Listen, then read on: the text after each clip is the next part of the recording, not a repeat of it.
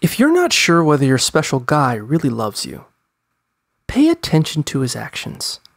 A guy who loves you should treat you with kindness and respect. He'll also go out of his way to spend quality time with you.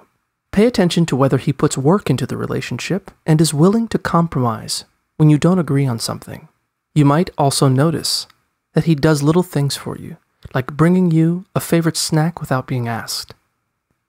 Make note of how he communicates with you, too.